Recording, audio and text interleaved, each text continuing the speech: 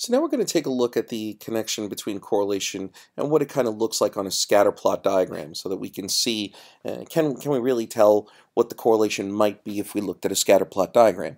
And the answer is basically yes, um, in many cases. It'll at least give us an idea. Uh, so we have two columns here. We have the tuition per credit and the enrollment uh, for a particular class. Now again, correlation doesn't necessarily mean causality, but we're just using this as an example. And the first thing I'm going to do is I'm going to go back to our um, correlation and I'm going to say, okay, well, we want to find out the correlation between tuition and enrollment. Uh, again, labels in the first row. I'll just move this over a little bit to D. Click OK. And here we have our uh, enrollment and tuition, and it looks like that there is a very strong negative correlation between uh, tuition and enrollment, which means as tuition goes up per credit, our enrollment decreases. They go in opposite directions. So let's take a look at what this might look like with a scatter plot diagram. So we're basically going to highlight our data set, and we're going to insert a chart. We're going to insert a scatter plot chart. And our scatter plot chart comes over here. I'll move that over so we can see. And I'm not worried about the margins here in the uh, axis where it goes from 0 to 60. We don't have any data points. I just want to basically look at what this shows us.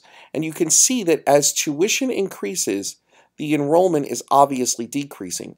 And so it is negatively correlated. And so using this type of chart, scatter plot chart, we can kind of infer what this is going to be.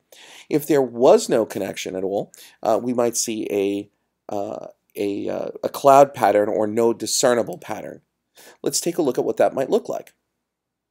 So here we have another data set, tuition enrollment. I've changed the numbers slightly. We're going to actually look and see what our scatter plot looks like first.